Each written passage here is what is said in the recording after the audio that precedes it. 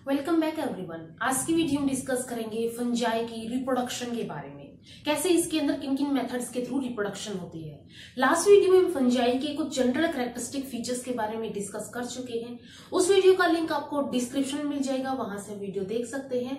And अगर video helpful लगती है तो लाइक कीजिए शेयर कीजिए अपने फ्रेंड्स के साथ एंड चैनल को सब्सक्राइब कर लीजिए।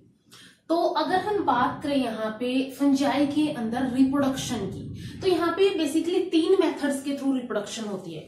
Vegetative asexual and sexual ठीक है, तीनों ही मेथड्स के थ्रू यहाँ पे रिप्रोडक्शन होती है। वन बाय वन हम इन मेथड्स को डिस्कस करेंगे। तो सबसे फ़र्स्ट है वेजिटेटिव रिप्रोडक्शन जिसको कायिक प्रजनन बोलते हैं। इस वेजिटेटिव रिप्रोडक्शन के अंदर फर्दर कुछ टाइप्स होते हैं जिनके थ्रू वेजिटेटिव रिप्रोडक्शन होती है। जिसमें सबसे फ़र्स्ट टाइप है फ्रेगमेंटेशन जिसको बोलते हैं विखंडन। फ्रेगमेंटेशन के अंदर क्या होगा? फ्रेगमेंट्स बनेंगे। यानी जो भी हाइफे हो गए माइसीलियम के, वो फ्रेगमेंट्स के अंदर ब्रेक हो जाएँगे। फिर इसके अंदर hyphae of the fungus break into small pieces ठीक है? ये क्या हो जाएँगे? छोटे छोटे टुकड़ों के अंदर छोटे छोटे पीसीज के अंदर ये ब्रेक हो जाएँगे। एंड ईच पीस में later grow into new mycelium and ये हर एक पीस क्या करेगा? ये ग्रो करेगा एक नए माइसिलियम के अंदर। ठीक है? तो इस वे में इसके अंदर फ्रेगमेंटेशन के थ्रू रिप्रोडक्शन होती है या फिर वेजिटेटिव रिप्रोडक्शन होती है। Second one is the fission fission के अंदर क्या होता है? इसको बाइनरी फीजन भी बोलते हैं, द्विविभाजन। यानी दो के अंदर डिवाइड हो जाएगा यहाँ पे। Cell divides into daughter cells and divide होके ये बनता है डोटर सेल बनाता है। क्योंकि ये साइज़ में थोड़ी सी पेरेंट सेल से छोटी होती है, इसलिए इनको डोटर सेल बोलते हैं।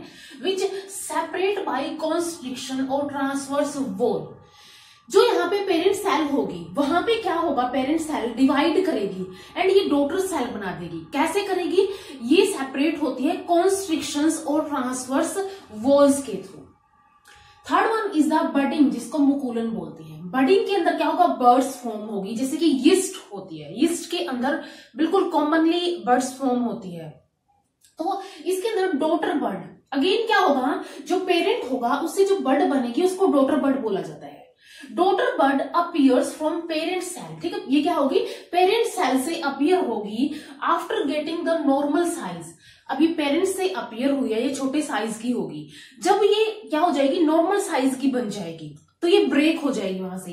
Breaks off when bud fails to separate ठीक है? ये तो ये था कि डॉटर बर्ड बनी, वो साइज़ में छोटी थी। जैसे वो पेरेंट की साइज़ की हुई, यानी नॉर्मल साइज़ की हुई, वो वहाँ से ब्रेक हो गई। इसके अलावा अगर बर्ड फेल्स टू सेपरेट अलग होना अलग ना हो, ठीक है सेपरेट ना हो पेरेंट से देन क्या होगा? आफ्टर रिपीटेड बर्डिंग बहुत सारी बर्डिंग डिविजन्स के बाद यहाँ पे सूडोमाइसीलियम फॉर्म हो जाएगा। ठीक है, ये क्या फॉर्म हो जाएगा यहाँ पे? सूडोमाइसीलियम फॉर्म हो जाएगा। इसके अंदर बहुत सारी सेल्स जो है, वो चेन के अंदर होगी, इसको हम सूडोमाइसीलियम बोलते हैं, जो ईस्ट के अंदर कॉमनली देखने को मिलता है।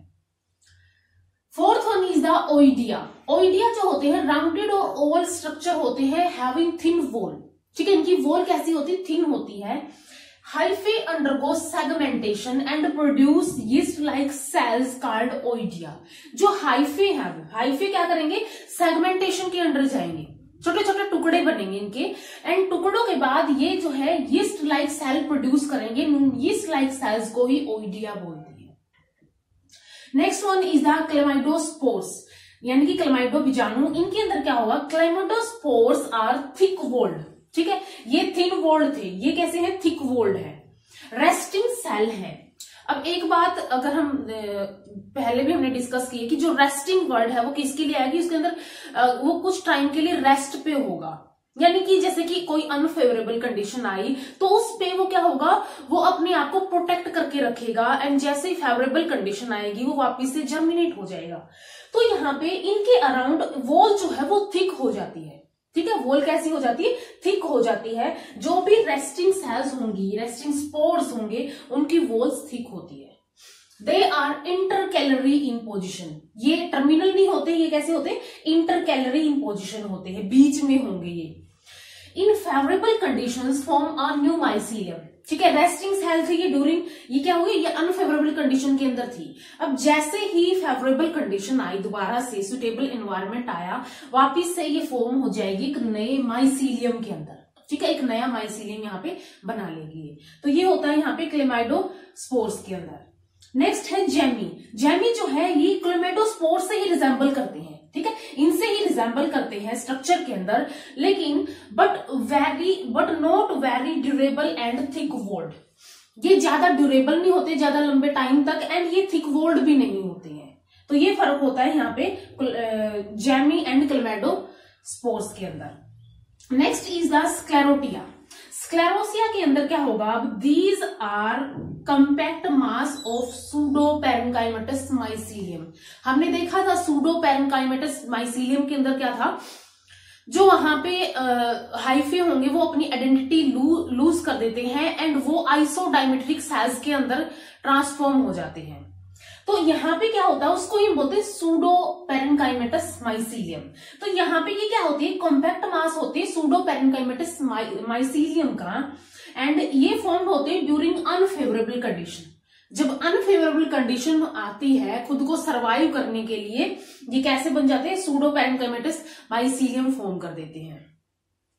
एंड अगेन जैसे ही यहाँ पे फेवरेबल कंडीशन आएगी, वापिस से ये जर्मिनेट होके नया माइसीलियम फॉर्म कर लेंगे. And last one is the rhizomorph जिसको तंतु जटा बोलते हैं। यूजली फाउंड इन बेसिडियोमाइसीट्स ठीक है क्लासिफिकेशन के अंदर हम देखेंगे कि क्या होती है एक्टिनोमाइसीट्स बिसाइडोमाइसीट्स तो ये जो यूजली बिसाइडोमाइसीट्स के अंदर होती है, लेकिन यूजली यहाँ पे है, ऐसा नहीं कि दूसरी के फंजाई के अंदर नहीं होती, कुछ और फंजाई के अंदर भी देखने को मिलते हैं। These are the structure for penetration ठीक है, ये क्या होती है, ये स्ट्रक्चर्स होते हैं पेनिट्रेशन के लिए। पेनिट्रेट करते हैं ये they remain dormant under adverse conditions adverse conditions क्या होगी? अनफेवरेबल कंडीशंस ठीक है? जब अनफेवरेबल कंडीशन होगी उस टाइम पे ये बनेंगे एंड uh, ये क्या करेंगे? अभी ये अपनी ग्रोथ को बिल्कुल स्टॉप कर लेंगे। जब ये बन जाएँगे अनफेवरेबल या फिर एडवर्स कंडीशन के टाइम पे एंड ये ग्रोथ को रिज्यूम कर लेंगे वेन फेवरेबल कंडीशंस अपीयर जैसे ही फेवरेबल कंडीशन आएगी कंडीशन स्टेबल होगी इन्वायरमेंट स्टेबल होगा, उस टाइम पे ये क्या कर लेंगे? ग्रोथ को रिज्यूम कर लेंगे। ठीक ग्रोथ क्या हो जाएगी? रिज्यूम हो जाएगी, जैसे ही फेवरेबल कंडीशन अपीयर होगी। तो बेसिकली जो भी यहाँ पे स्पोर बनते हैं अनफेवरेबल कंडीशन के अंदर, वो क्या करते हैं यहाँ पे? जैसे ही फेवरेबल कंडीशन आती है, वो जर्मिनेट करेंगे, एक नया माइसिलियम फॉर्म कर देंगे। तो इन डिफरेंट डिफरेंट मेथड्स के थ्रू वेजिटेटिव रिप्रोडक्शन होती है। फ्रेगमेंटेशन के थ्रू जिसके अंदर हाइफे स्मॉल साइजेस के अंदर ब्रेक हो जाएँगे स्मॉल पीसीस के अंदर एंड ग्रो करके नया माइसीलियम बना लेंगे। फीजन के अंदर ये डोटर सेल्स के अंदर डिवाइड होंगे कॉन्स्ट्रिक्शन एंड ट्रांसवर्स वोल्स के थ्रू बडिंग के अंदर डोटर बर्ड अपीयर होंगी पेरेंट सेल से एंड जब वो नॉर्मल साइज़ की ग्रो हो जाएँगी, तब वो क्या कर लेंगी? वहाँ से ब्रेक ऑफ़ हो जाएगी। लेकिन ये सूडोमाइसीलियम भी बना सकती है। सूडोमाइसीलियम क्या होता है? अगर ये सेपरेट ना हो एंड रिपीटेड बडिंग की वजह से चेन फॉर्म कर लेते हैं तो उसको सूडोमाइसिलियम बोलते हैं। सूडोमाइसिलियम क्या होगा? Pseudo means false false and mycelium ठीक है? तो यहाँ पे फाल्स माइसीलियम बनेगा। लेकिन माइसीलियम ऐसे वो सिर्फ़ क्या है? यहाँ पे सेल्स ही है वो। सेल्स की चेन है, जिसको हमने सूडो माइसीलियम बोल दिया है। ओइडिया जो है राउंडेड और ओवर ओवल स्ट्रक्चर्स होते हैं थिन वोल के होते हैं। ये सेगमेंटेशन के अंदर जाते हैं, यानी हाइफे सेगमेंटेशन करके इनको बनाते हैं एंड इनको ही ओइडिया बोलते हैं। क्लेमाइडोमोनाज क्लेमाइडोस्पोर्स के अंदर क्या होगा? ये थिक वोल्ड होते हैं। थिक वोल्ड रेस्टिंग सेल्स होती हैं, जैसे ही फेवरेबल कंडीशन आएगी अगेन ये क्या हो जाएगी? एक नया माइसीलियम फॉर्म कर देंगी। जैमे भी स्पोर्ट से मिलते जुलते होते हैं स्ट्रक्चर के अंदर, लेकिन ये ज़्यादा ड्यूरेबल नहीं होते हैं एंड इनके अंदर थिक वोल नहीं होती है। इसके बाद स्क्लेरोसिया के अंदर क्या होता है? कॉम्पैक्ट मास होते हैं ये सूडोपेरेंकाइमेटस माइसिलियम के। एंड ये फॉर्म होते हैं अनफेवरेबल कंडीशन के ड्यूरिंग एंड राइजोमोर्फ्स जो है यूजली डिसाइडोमाइसीट्स के अंदर मिलते हैं। एंड ये स्ट्रक्चर होते हैं पेनिट्रेशन के लिए। एंड ये क्या कर सकते हैं? डोरमेंट रहते हैं एडवर्स कंडीशन के अंदर। ठीक है? एडवर्स कंडीशन के अंदर ये जो है रेस्ट पे रहेंगे एंड जैसे ही फेवरेबल कंडीशन आएगी, ये ग्रोथ को रिज्यूम कर लेंगे। ठीक है? जैसे ही फेवरेबल कंडीशन आई अगेन इनको सारी जो इनको रिक्वायर्ड है रिक्वायरमेंट्स है, वो मिलेंगी एंड अगेन ये क्या कर लेगी? नया माइसीलियम फॉर्म कर देगी या नई फंजाई फॉर्म कर देगी। तो ये डिफरेंट डिफरेंट मेथड्स हैं वेजिटेटिव रिप्रोडक्शन के। इसके बाद next one is the asexual reproduction sexual reproduction के अंदर भी कुछ मेथड्स होते हैं यहाँ पे। तो यहाँ पे सबसे फ़र्स्ट मेथड है स्पोर फॉर्मेशन का। ठीक है? स्पोर फॉर्मेशन के अंदर जो स्पोर्स होते हैं ठीक है? स्पोर्स यूजली यूनिसेलुलर होते हैं, ठीक है? यूजली यूनिसेलुलर होते हैं, लेकिन कई बार ये मल्टी सेलुलर भी हो जाते हैं। थिन वोल्ड स्ट्रक्चर्स होते हैं स्फेरिकल इन शेप होते हैं, ठीक है? इनकी जो वॉल होती है, वो थिन वोल होती है। दे मे बी हाईलाइन और कलर्ड ठीक है? ट्रांसपेरेंट हो सकते हैं या तो ये कलर्ड हो सकते हैं। They are produced endogenously endogenously का मीनिंग है इनसाइड ठीक है? अंदर की तरफ़ ये प्रोड्यूस होंगे in special sac like asexual reproductive bodies कुछ यहाँ पे ए सेक्सुअल रिप्रोडक्टिव बॉडीज होंगी जो कि जो इसके अंदर प्रेजेंट होंगी, उनके अंदर एंडोजीनियसली स्पोर्ट्स प्रोड्यूस होंगे and in special sac like asexual reproductive bodies को स्प्रिंजिया बोलते हैं। ठीक है, इनको क्या बोलते हैं? स्प्रिंजिया बोलते हैं। इसके बाद स्पोर्ट्स जो है यहाँ पे डिफरेंट डिफरेंट टाइप के हो सकते हैं। ये जू स्पोर्ट्स हो सकते हैं, जिनको चलत बीजाणु बोलते हैं। स्प्रिंजियो स्पोर्ट्स हो सकते हैं, यूरिडियो स्पोर्ट्स हो सकते हैं टेलिटो स्पोर्ट्स हो सकते हैं, या फिर ये हो सकते हैं यहाँ पे पिकनियो स्पोर्ट्स। ठीक है डिफरेंट डिफरेंट टाइप के स्पोर्ट्स यहाँ पे हो सकते हैं। अब ये जो जू स्पोर्ट्स है, वो यूनिफ्लैजिलेटेड भी हो सकते हैं बाई फ्लैजिलेटेड भी हो सकते हैं। एक फ्लैजिला भी हो सकता है, या फिर इनके अंदर दो फ्लैजिला भी हो सकते हैं। तो ये होता है यहाँ पे स्पोर फॉर्मेशन के अंदर। स्पोर फॉर्मेशन बेसिकली स्पोरेंजिया के अंदर होती है। स्पोरेंजिया क्या होता है? एक sac like special sac like asexual reproductive body होती है। एंड इसके अलावा ये यूनिसेलुलर होते हैं and thin walled spherical structure होते हैं। ये हाईलाइन और यानी कि ट्रांसपेरेंट या फिर ये कलर्ड हो सकते हैं। एंड डिफरेंट डिफरेंट टाइप के स्पोर्ट्स जो है फंजाई के अंदर देखने को मिलते हैं। इसके बाद सेकेंड है यहाँ पे कोनिडिया फॉर्मेशन कोनिडिया फॉर्मेशन के अंदर क्या होगा? जो ये स्पोरेंजिया था, ठीक है, जो स्पोरेंजिया था स्पोरेंजिया जब डिटेच हो जाएगा, इसको कोनिडिया बोलेंगे। ठीक है? Detachable sporangia are called conidia hyphae bearing conidia are called conidiophores ठीक है? इनको क्या बोलेंगे? कोनिडियोफोर्स बोलेंगे, जिनके अंदर कोनिडिया प्रोड्यूस होते हैं। कोनिडियोफोर्स जो है ग्रुप्स के अंदर में फॉर्म स्ट्रक्चर लाइक ठीक है? कोनिडियो फोर क्या करेंगे? ग्रुप्स के अंदर इकट्ठे हो जाएँगे। ग्रुप के अंदर इकट्ठे होकर ये फॉर्म कर सकते हैं कुछ स्ट्रक्चर जैसे कि ये फॉर्म कर सकते हैं कोर्मिया या तो ये फॉर्म कर सकते हैं एसरवुल्स या फिर ये फॉर्म कर सकते हैं सिनमेटा ठीक है? डिफरेंट डिफरेंट टाइप के स्ट्रक्चर्स फॉर्म कर सकते हैं। इसके बाद नेक्स्ट है ओइडिया ओइडिया जो है लाइक हमने वेजिटेटिव रिप्रोडक्शन के अंदर देखे थे, वैसे ही इसके अंदर ओइडिया होते हैं। Hyphae divided into large number of short segments ठीक है? छोटे छोटे सेगमेंट्स के अंदर डिवाइड हो जाते हैं बाय ट्रांसवर्स वॉल्स ठीक है? छोटी छोटी ट्रांसवर्स वॉल्स होंगी उनके थ्रू लाइक ये हाइफा हो गया। हाइफे के अंदर ऐसे ट्रांसवर्स वॉल्स बन जाएँगी एंड ये अलग अलग ये अलग अलग सेगमेंट्स यहाँ पे फॉर्म हो जाएँगे। दीज आर थिन वोल्ड ये कैसे होते हैं? थिन वोल्ड सेगमेंट होते हैं and are produced in chains and may become free from one another and are called oidia और इनको आर्थ्रोस्पोर्स भी बोला जाता है। अब ये ये क्या हो जाते हैं? ये अलग अलग फ्री हो जाते हैं ऐसे ठीक है? अब फ्री होके या तो ये क्या कर सकते हैं, एक चेन के अंदर रह सकते हैं। ठीक है, ये सिंपली चेन के अंदर रहेंगे। या तो ये फ्री हो सकते हैं फ्री हो जाएँगे एक दूसरे से, इनको ही क्या बोला जाता है ओइडिया या फिर इनको आर्थ्रोस्पोर्स बोला जाता है। तो ये होते हैं यहाँ पे ओइडिया और arthrospores next one is the chlamydospores chlamydospores के अंदर क्या हो गए? ये भी ओइडिया जैसे ही होते हैं, लेकिन इनके अंदर थिक वोल्ड नहीं होती है। एंड डार्क कलर्ड ठीक है? लैक करते हैं, ये thick walled and dark colour lack करते हैं, बाकी ये कैसे होते हैं? ओइडिया जैसे ही होते हैं। And next one is the pycniospores pycniospores जो है, ये प्रोड्यूस्ड हो these are minute conidia like spores ये भी कैसे होते हैं? कोनिडिया लाइक स्पोर्स होते हैं माइन्यूट होते हैं छोटे छोटे होते हैं and produced in the flask shape cavities ठीक है, इनके अंदर फ़र्क क्या होता है? ये फ्लाश शेप कैविटीज होती हैं, उनके अंदर प्रोड्यूस होते हैं एंड इनको बोला जाता है पिकनीडिया या फिर pycnia these are formed due to aggregation of conidiophores conidiophores की एग्रीगेशन हो जाएगी कोनेडियो फोर्स इकट्ठे हो जाएँगे एंड उनकी वजह से यहाँ पे क्या प्रोड्यूस होते हैं? पिकनियो स्पोर्स प्रोड्यूस होते हैं. तो ये डिफरेंट डिफरेंट टाइप के हमने देख लिए यहाँ पे स्पोर फॉर्मेशन हो गई. इसके बाद कोनिडिया फॉर्मेशन हो गई. ओइडिया बनते हैं यहाँ पे क्लेमेडोस्पोर्स बनते हैं एंड पिकनियो पिकनियोस्पोर्स बनते हैं। इसके बाद नेक्स्ट ए सेक्सुअल रिप्रोडक्शन के अंदर मेथड होगा यूरिडोस्पोर्स यूरिडोस्पोर्स जो होते हैं, ये बाई न्यूक्लिएट होते हैं, दो न्यूक्लियस होते हैं इनके अंदर एंड ये थिक वर्ल्ड स्पोर्स होते हैं, ठीक है? दो न्यूक्लियस होंगे एंड ये थिक वर्ल्ड स्पोर्स होते हैं। And next one is the teleutospores ये जो है हाईली थिक वर्ल्ड होते हैं। थिक तो ये भी होते हैं, लेकिन ये और भी ज़्यादा थिक वोल्ड होते हैं। बाई सेल्ड होते हैं एंड हर एक सेल जो है बाई न्यूक्लिएटेड होती है। ठीक है? इसके अंदर भी बाई न्यूक्लियर सेल थी। ये बाई सेल्ड होते हैं दो सेल होंगे और उसमें से हर एक न्यूक्लियाई क्या होगी? ईच सेल बाई न्यूक्लिएटेड होगी। हर एक सेल क्या होगी? जिसके अंदर दो न्यूक्लियाई होगी। तो ये डिफरेंट डिफरेंट मेथड्स थे ए सेक्सुअल रिप्रोडक्शन के।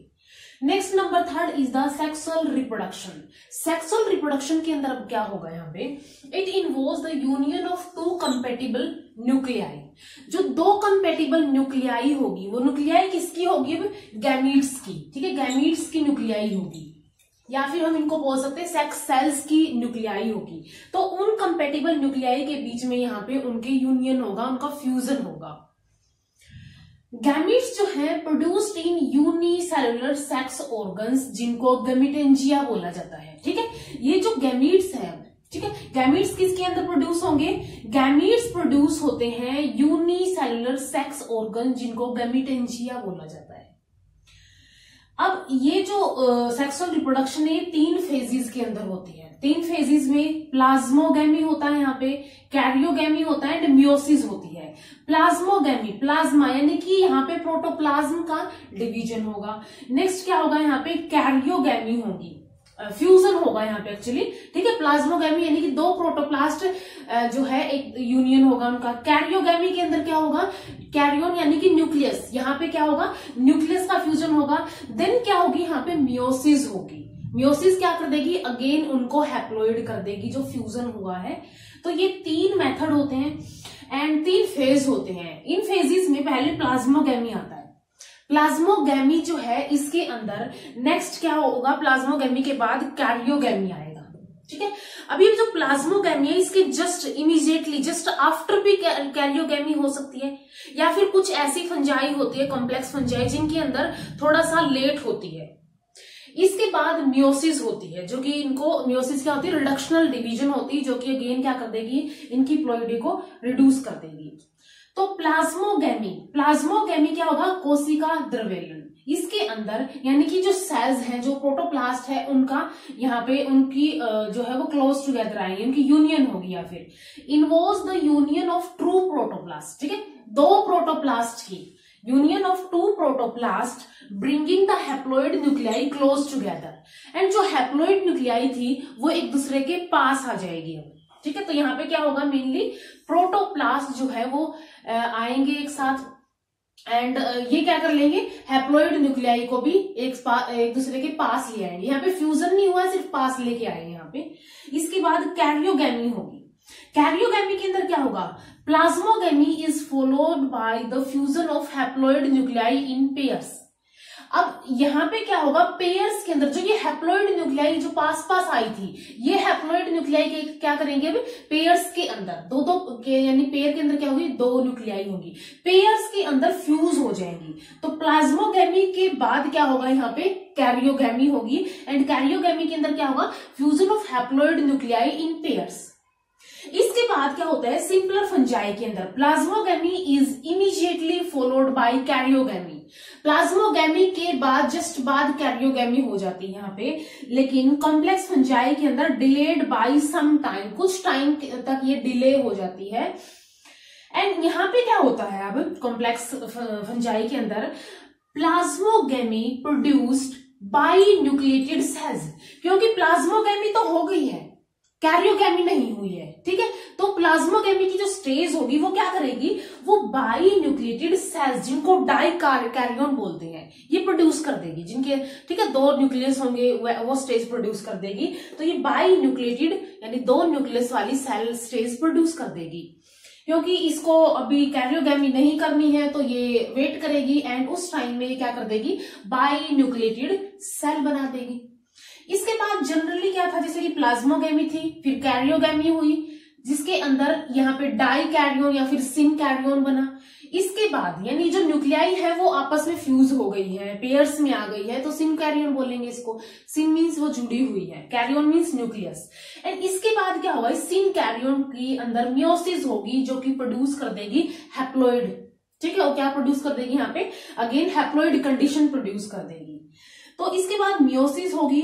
Reduce the diploid condition diploid condition को ये हैप्लॉयड वन के अंदर कन्वर्ट कर देगी, उसके अंदर ले आएगी। ठीक है? तो यहाँ पे तीन फेजेस है जिसके अंदर प्लाज्मोगेमी आई। प्लाज्मोगेमी के अंदर प्रोटोप्लाज्म फ्यूज हुए। प्रोटोप्लाज्म फ्यूज होकर उनकी न्यूक्लियाई एक दूसरे के पास आ गई। इसके बाद कैरियोगेमी हुई। कुछ के अंदर तो क्या हो सकता है? प्लाज्मोगेमी के जस्ट इमीजिएटली कैरियोगेमी हो सकती है। कुछ के अंदर क्या होगा? डिलेड होगी एंड इनके अंदर सिंग कैरियोन या फिर डाइकैरियोन न्यूक्लियस प्रोड्यूस हो जाएगा। लाइक like, यहाँ पे हमने देखा था कि हैप्लोइड न्यूक्लियस जो पेयर्स के अंदर आ जाएँगे तो इनको डाइकैरियोन या फिर सिंग कैरियोन बोलेंगे। ये सिंग कैरियोन डाइकैरियोन के अंदर म्योसिस होगी, जो कि रिडक्शनल डिवीज़न है, जो कि इनको हैप्लोइड बना देगी। ठीक है? थर्ड म्योसिस होगी, जो कि डिप्लॉइड कंडीशन को हैप्लोइड वन के अंदर कन्वर्ट कर देगी। तो ये तीन फेजेस होते हैं यहाँ पे सेक्सुअल रिप्रोडक्शन के अंदर। इसके बाद नेक्स्ट क्या होता है यहाँ पे? If the gametes and gametangia gametangia क्या था यहाँ पे? यहाँ पे यूनिसेलर सेक्स ऑर्गन्स थे। तो अगर gametes and gametangia morphologically identical है मोर्फोलॉजिकली एक दूसरे से मिलते हैं तो इनको बोला जाता है आइसोगैमिट्स एंड आइसोगैमिटेंजिया रिस्पेक्टिवली ठीक है? गैमिट्स को बोला जाता है आइसोगैमिट्स गैमिटेंजिया को बोला जाता है आइसोगैमिटेंजिया एंड अगर ये मोर्फोलॉजिकली डिफर करते हैं डिफर मोर्फोलॉजिकली देन इनको बोला जाता है हेट्रोगेमिट्स और हेट्रोगेमिटेंजिया ठीक है? हेट्रोगेमिट्स और हेट्रोगेमिटेंजिया बोला जाता है. लाइक like, गैमिट्स को तो हेट्रोगेमिट्स बोला जाएगा एंड गेमिटेंजिया को हेट्रोगेमिटेंजिया बोला जाएगा. अभी जो हेट्रोगेमिटेंजिया है इसके अंदर हमने बोल दिया कि हेट्रोगेमिट्स होंगी अलग अलग गेमिट्स होंगी। तो मेल एंड फीमेल दो गैमिट होंगे। मेल गैमिट को यहाँ पे एंथ्रीडियम बोला जाता है फीमेल गैमिट को यहाँ पे ऊगोनियम बोला जाता है। ठीक है? तो ये होता है यहाँ पे सेक्सुअल रिप्रोडक्शन के अंदर। सबसे फ़र्स्ट क्या होगा यहाँ पे? तीन फ़ेज़ होंगे plasmogamy karyogamy and meiosis plasmogamy के बाद कैरियोगेमी होगी। प्लाज्मोगेमी के अंदर क्या होगा? बेसिकली प्रोटोप्लास्ट का फ्यूजन होगा एंड न्यूक्लियाई को वो एक साथ ले आएँगे। कैरियोगेमी के अंदर वो पेयर्स के अंदर आ जाएँगी न्यूक्लियाई सिन कैरियोन या डाइकैरियोन बना लेगी। एंड इसके बाद क्या होगा? म्योसिस होगी। म्योसिस के अंदर अगेन क्या हो जाएगा? वो हेप्लोइड कंडीशन बन जाएगी। एंड गैमीट्स जो है यहाँ पे, या फिर गैमिटेंजिया जो है, वो यहाँ पे आइसोगेमिट्स भी हो सकते हैं या फिर आइसोगेमिटेंजिया भी हो सकती है कंडीशन या तो ये हेट्रोगेमिट्स हो सकते हैं हेट्रोगेमिट्स या फिर हेट्रोगेमिटेंजिया होंगे। हेट्रोगेमिटेंजिया के अंदर एक मेल होगा, एक फीमेल होगा। मेल को एंथ्रीडियम बोलते हैं फीमेल को ऊगोनियम बोलते हैं। इसके बाद यहाँ पे ये जो हेप्लोइड न्यूक्लियाई है, एक दूसरे के पास आई है। ये हेप्लोइड न्यूक्लियाई एक दूसरे के पास आई है तो इसके अंदर कुछ मेथड्स होते हैं। ठीक है, इसके अंदर कुछ मेथड्स होते हैं एंड उनको बोला जाता है मेथड्स ऑफ़ सेक्सुअल रिप्रोडक्शन ठीक है तो अगर हम देखें यहाँ पे कि कौन कौन से मेथड्स होंगे सेक्सुअल रिप्रोडक्शन के। बेसिकली यहाँ पे पाँच मेथड होते हैं जिसके अंदर गेमिटिक कॉपुलेशन होता है then gametangial contact gametangial copulation and spermatization and somatogamy तो डिफरेंट डिफरेंट पाँच मेथड्स होते हैं यहाँ पे। अगर यहाँ पे गेमेटिक कॉपुलेशन की बात करें, ये फ्यूजन होता है नेक्ड गैमीट्स का, जिसके अंदर वन और both the gametes are motile ठीक है, दोनों, ए, दोनों, एक या फिर दोनों, क्या हो सकते हैं? मोटाइल हो सकते हैं। यहाँ पे ये तीन टाइप की होती है। या तो ये आइसोगैमी हो सकती है एनाइसोगैमी एंड ऊगैमी हो सकती है। आइसोगैमी के अंदर क्या होगा? आइसो मीन सेम होंगे यहाँ पे। Fusing gametes are exactly alike in appearance and function function के अंदर एक्टिविटी के अंदर मॉर्फोलॉजी के अंदर वो सिमिलर दिखेंगे यहाँ पे।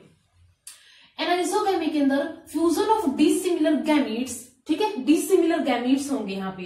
Both the gametes are motile and दोनों के दोनों गैमिट्स क्या होंगे? मोटाइल होंगे। Third one is the oogamy fusion of male male क्या होगा यहाँ पे? माइक्रोगेमिट होगा, जो कि छोटा होगा। एंड ये स्मॉल होगा फ्लेजिलेटेड एंड एक्टिव होगा। विद द फीमेल जिसको मेगा गैमिट बोलेंगे, ये large non motile and passive होगा, ठीक है? तो यहाँ पे ये होता है ओगैमी के केस में एक मेल गैमिट होगा, एक फीमेल गैमिट होगा, यानी कि हेट्रोगैमिट्स होंगे यहाँ पे। इसका सेकंड क्या होता है? अगर हेट्रोगेमिटेंजिया का फ्यूजन होता है तो उसको गेमिटेंजियल कॉन्टेक्ट बोलते हैं।